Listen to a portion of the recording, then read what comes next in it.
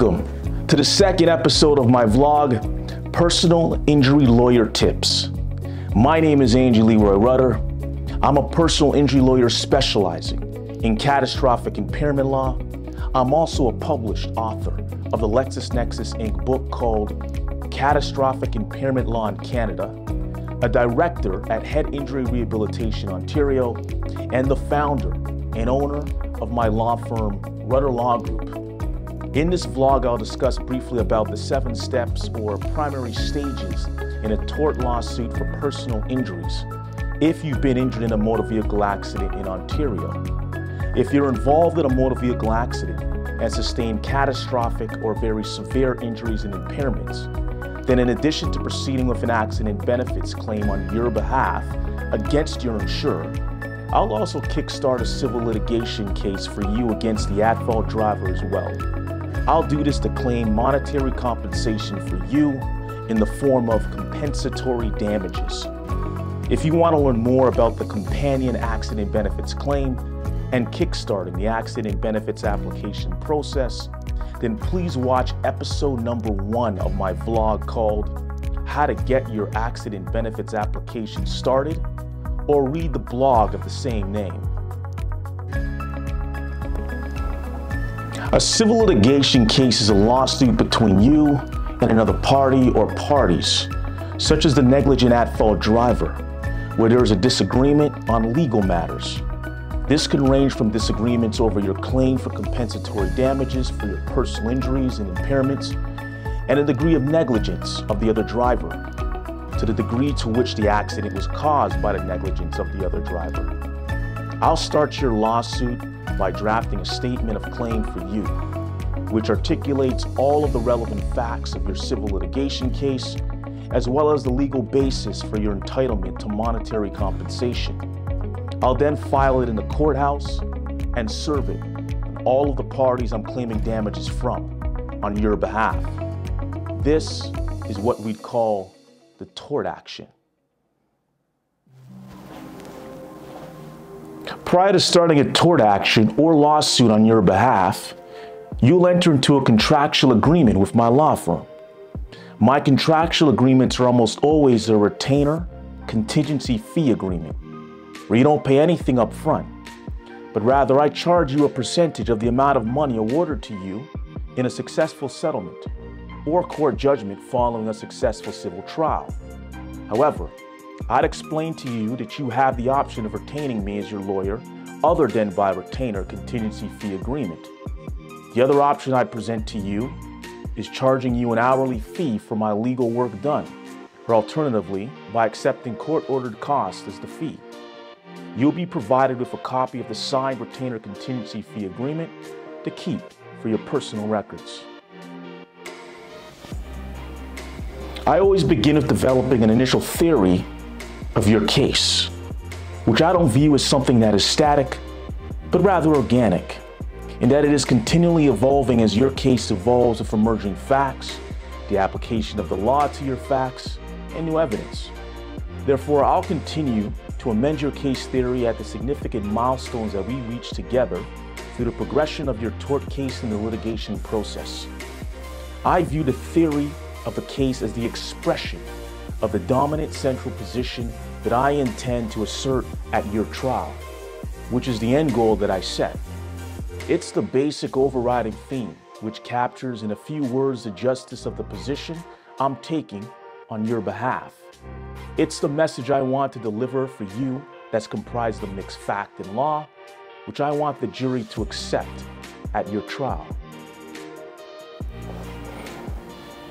It is imperative that I have access to all the pertinent information from third parties that are relevant to the legal issues in dispute in your civil litigation case in order to start a successful tort lawsuit on your behalf.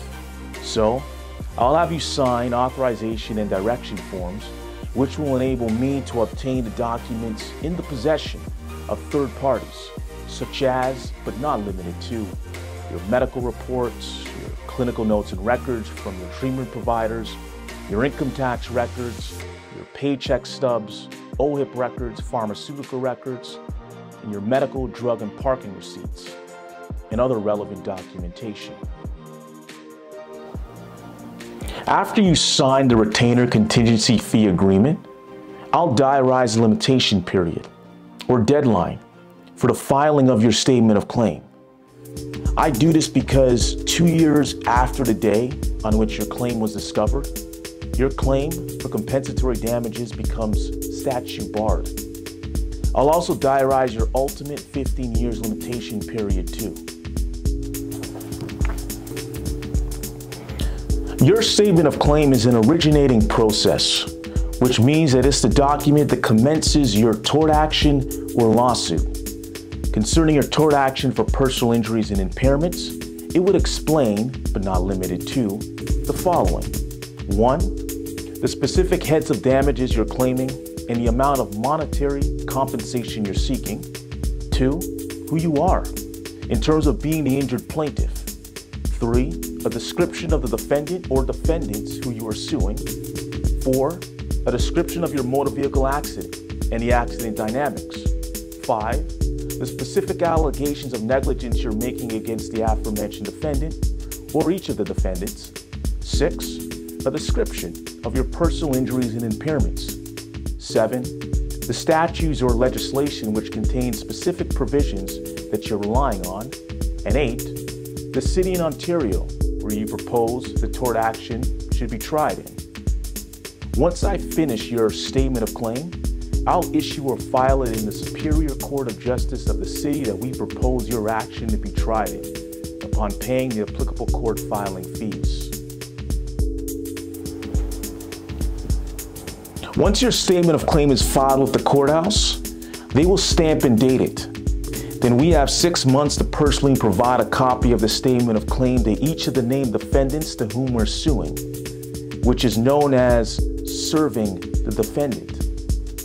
Once I personally serve your statement of claim and all of the named defendants, I will ensure that an affidavit of service, which is proof of service, is completed for each defendant and subsequently filed with the court. The defendants named in your statement of claim, who have been personally served with it, will prepare a statement of defense and then serve it on everyone else named in the legal matter, including me on your behalf. In Ontario, it is mandatory for all owners of vehicles to purchase third party liability coverage to protect them if someone else is killed or injured or their property is damaged. Therefore, if the defendants I'm suing on your behalf have purchased this mandatory liability insurance coverage, then it will pay as a result of our successful tort lawsuit against them up to the limit of their coverage. There are two components to the discovery process that you'll experience, which are as follows. One, documentation discovery, and two, examinations for discovery. The primary purpose of the discovery process is to enable both the plaintiff, you, and the defendant to better understand the case that they have to meet via the exchange of pertinent information and documentation, which is document discovery, combined with cross examination or asking the other party specific questions while being recorded that's relevant to the issues in dispute in your tort action or lawsuit, which is examination for discovery. The document discovery stage of the process involves an exchange of documents between you and I and the other parties and non-parties, which are relevant to the legal issues in dispute in your tort action. The most essential document in regards to document discovery is what is known as the affidavit of documents. An affidavit of documents includes a sworn statement from you confirming that you have conducted a diligent search of all of your records and made appropriate inquiries of others to inform yourself in order to ensure that your affidavit discloses to the full extent of your knowledge, information, and belief all documents relevant to any matter in issue in your tort action, which are or have been in your possession, control, or power. The examination for discovery stage of the process involves obtaining oral evidence from you and a defendant under oath and before trial, where the lawyers for the opposing party ask questions via cross examination of the opposing party and their lawyer pertaining to the relevant issues contained in the pleadings, such as, but not limited to, the statement of claim and statement of defense I mentioned earlier. Some of the benefits to you that come from proceeding with the mandatory discovery process are, not limited to, the following. One, assess the strengths and weaknesses of the other party's case before I prepare for trial. Two, narrow the issues for the trial I'll conduct on your behalf, if necessary. And three, potentially reach a favorable and equitable settlement prior to going to trial.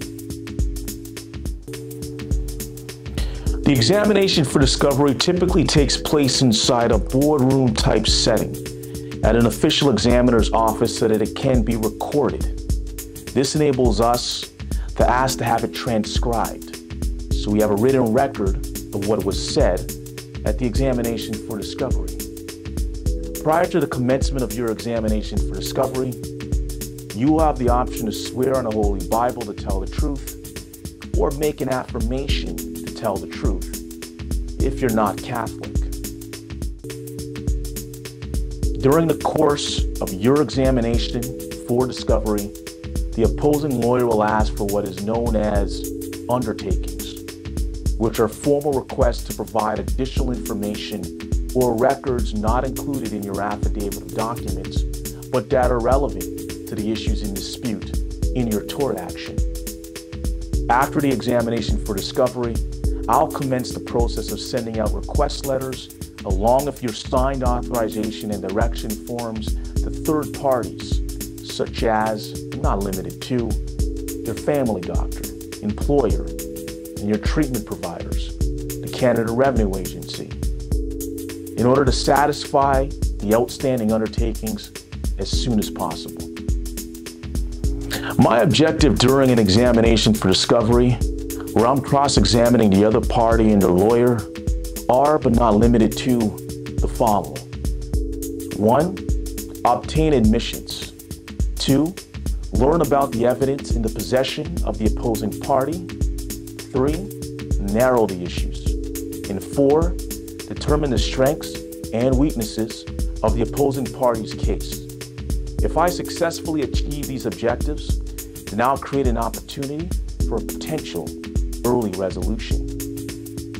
My objective during an examination for discovery, where you are being cross examined by the other lawyer, is to adequately prepare you as, but not limited to, the following.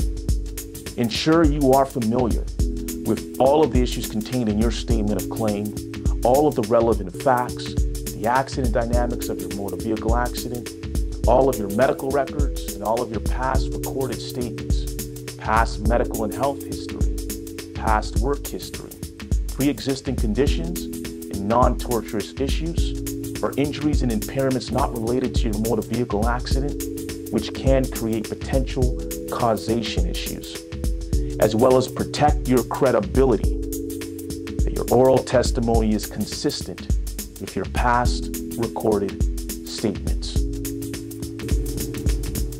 The next step is to ask for a trial date, which is known as setting the action down for trial. In order to set your tort action down for trial, I will prepare and file your trial record.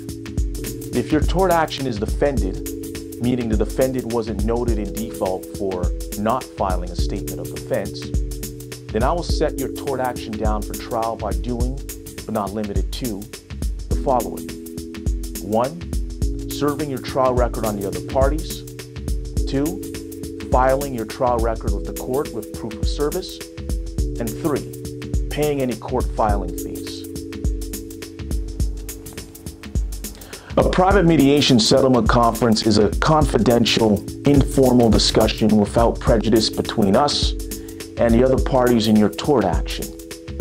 in an attempt to resolve your tort action for an equitable and just settlement prior to trial.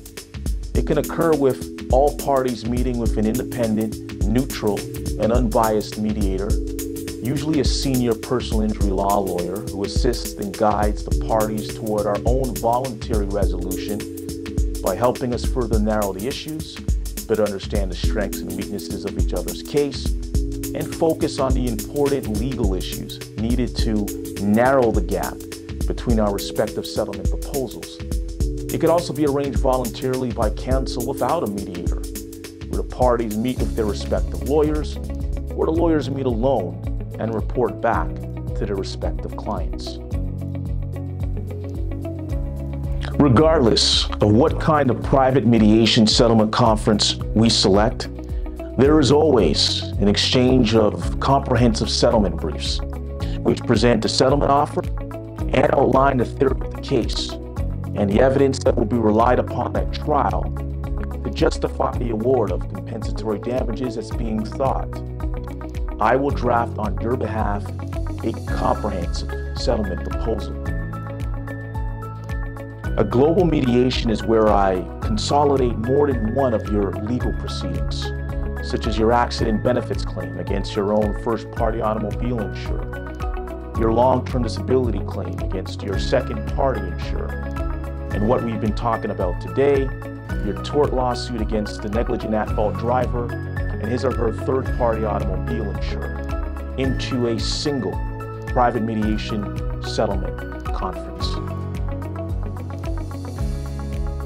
If your tort action has been set down for trial, then just before the actual trial date, we must attend what is known as a pretrial conference with a judge. Prior to attending the pretrial conference, I must complete a pretrial brief or memorandum, which provides the pretrial judge the pertinent information he or she requires to adequately conduct it. Once the pretrial conference is confirmed by the court, you and I must attend the courthouse, including all the other parties and their respective lawyers, before trial can proceed. Typically, only the lawyers go into the conference room to meet with the pretrial judge, and the parties remain outside and available to provide instructions to counsel in the event that settlement proposals are made and exchanged between the parties. The judge who conducts the pretrial conference cannot preside at the trial without the consent of all the parties to your tort action. If we can't resolve your tort action at a private mediation settlement conference or at the pretrial conference, then we proceed to trial. A trial is a coming together of all the parties in your tort action in a formal setting with the authority to adjudicate the dispute and your claims, where the lawyers marshal or reduce the facts, the applicable law, and the supportive evidence. The lawyers, including myself, argue them in an effective, compelling, and persuasive manner before a trier of fact, either a judge or a jury, who conducts a formal examination of the evidence in order to decide whether the monetary compensation in the form of compensatory damages you seek should be awarded. Subject to an appeal, the decision rendered at a trial is usually the end of the road for your tort action and legal dispute. My witnesses are of two kinds, which are lay witnesses and expert witnesses. A lay witness can essentially only testify on their direct knowledge of what they actually witnessed, and not on his or her opinion of anything. An expert witness, on the other hand, is an individual who possesses special knowledge or skill in respect of a subject upon which he or she is called upon to testify after swearing to be objective and providing testimony that serves the court in enhancing its understanding. After he or she is qualified as an expert witness through a qualification process in the court, he or she is then permitted to give opinion evidence, which is limited to his or her area of expertise and is deemed to be necessary to furnish the court with such expertise that is likely outside the experience and knowledge of the presiding judge or jury. After the closing addresses from the lawyers representing all the parties in your tort action, in a judge alone case, the presiding judge may make his or her decision at the end of the trial or release his or her decision at a later time, which is known as reserving judgment. If, however, it's a jury trial, then the judge addresses the law, but the jury addresses the facts. The judge will rule on the evidence, instruct the jury about the law, comment on the evidence, decide whether there is sufficient evidence to be considered by the jury. The judge has a duty to determine whether any facts have been established by evidence from which negligence may reasonably be inferred.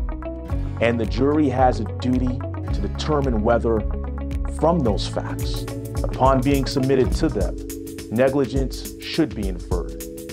After the presiding judge completes his or her duty to discharge the jury, they complete their duty and leave the court to deliberate until they reach a verdict. If we disagree with the judgment due to an error in law and or an error in fact, then we can appeal the decision to the Court of Appeal for Ontario. Supreme Court of Canada articulated the standard of review for errors of law, fact, and mixed law and fact as follows. Quote, where the question is one of pure law, the standard is correctness. The standard of review for findings of fact is one of palpable and overriding error. A palpable error being one that is plainly seen. In negligence cases, the standard of review for questions of mixed fact and law is one of palpable and overriding error, unless the trial judge made some error in principle, in which case the error may amount to an error of law, which is subject to correctness. End quote. The very last appeal that we can make is to the highest court in the country, which is the Supreme Court of Canada. If you want more information, then please read my blog of the same name called What Are the Steps in a Tort Lawsuit for Personal Injuries? In my blog, I go into much more detail in all of the seven stages of a tort action I mention in this blog, as well as provide links to other blogs such as What Damage Awards Do I Get from a Successful Tort Action, which provide additional information you'll find helpful. I hope you found this information valuable. Remember, my website is your one stop source for answers to all of your legal questions concerning tort law personal injury law, and catastrophic impairment law. If you want to book a free consultation with me, then please visit my webpage at rudderlawgroup.ca and click on the free consultation button at the top of the page. Let us be your rudder that steers your legal ship in the right direction. Please subscribe to my YouTube channel and click the like button if you found the content valuable. There you'll also find other vlogs with valuable content on tort law, personal injury law, and catastrophic impairment law. Thank you, and I'll see you in episode three of Personal Injury Lawyer Tips, where I'll bring you more useful legal information.